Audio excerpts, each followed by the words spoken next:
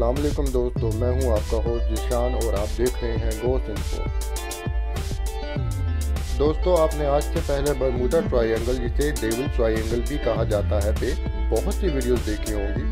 اور یقیناً آپ بہت کچھ جانتے ہوں گے برمودا ٹرائی اینگل کے بارے میں، اور بہت کچھ جاننے کی جستجو بھی رکھتے ہوں گے۔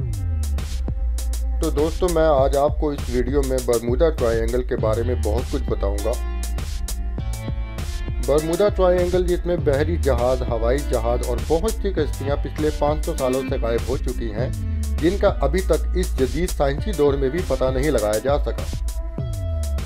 کوئی نہیں جانتا ان لوگوں کے ساتھ کیا ہوا جو برمودا ٹرائی اینگل میں گئے اور نہ ہی ان لوگوں کے بارے میں کوئی خاص ثبوت مل سکا کسی کو آج تک۔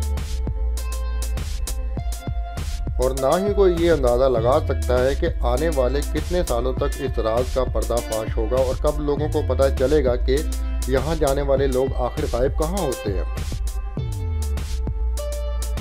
تو دوستو، آپ اس ویڈیو میں جانیں گے کہ اس پر اسرار علاقے میں ہونے والے خوفناک واقعات برمودا ٹرائنگل کی تاریخ اور یہ کہ یہ کہاں واقعہ ہے اور اب تک کتنے لوگ اس میں غائب ہو چکے ہیں۔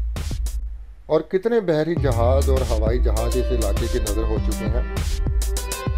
برمودا ٹرائنگل جس کو ڈیول ٹرائنگل بھی کہا جاتا ہے، ایک خوفناک علاقہ ہے جہاں ابھی تک سو سے زیادہ ہوائی اور بحری جہاز غائب ہو چکے ہیں۔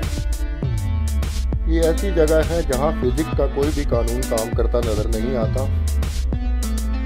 دوستو، برمودا ٹرائنگل کی ایگزیکٹ لوکیشن جاننے سے پہلے برمودا آئی لینڈ کے بارے میں جاننا زیادہ ضروری ہے۔ Bermuda island western part of North Atlantic Ocean کے ساؤتھ کیرولینا کے سکس ففٹی میل کے فاصلے پر تھری ہنڈریڈ آئی لینڈ پر مشتمل ہے، جن میں سے صرف بیس آئی لینڈ آباد ہیں۔ اس میں سے سب سے بڑا آئی لینڈ گریٹ برمودا کے نام سے ہے، جو تقریباً چودہ میل لمبا ہے۔ تو دوستو برمودا کا کل رقبہ تریپن کلومیٹر یعنی بیس مربع میل ہے اور آبادی تریسٹھ ہزار نفوس پر مشتمل ہے۔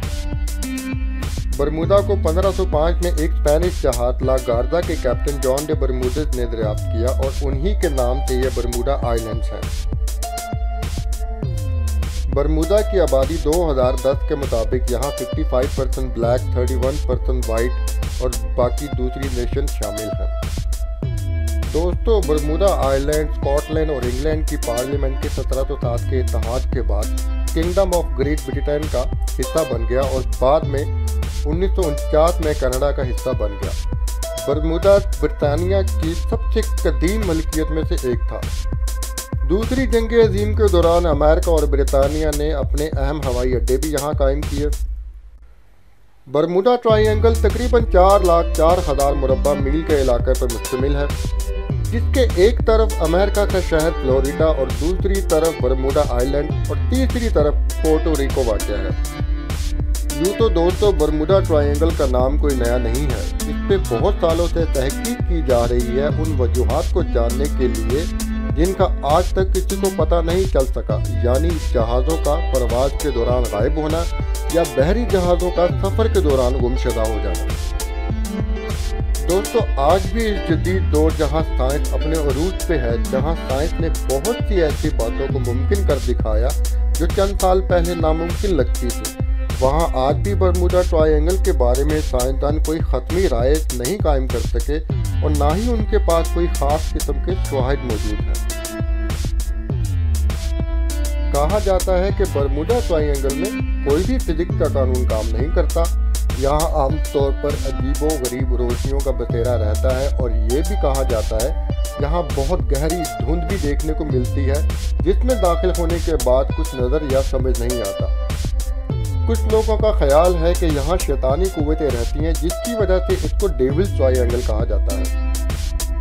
ان باتوں اور خیالوں پر بہت سی فلمیں بن چکی ہیں، بہت سی ڈاکومنٹریز ہمیں نظر آتی ہیں اور بہت سی کتابیں لکھی جا چکی ہیں۔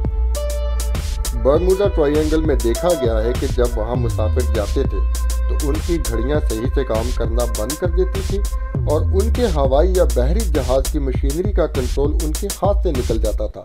یہاں تک کہ کمپس بھی کام کرنا چھوڑ دیتے تھے یا اگر ڈائریکشن بھی دیتے تو غلط دیتے۔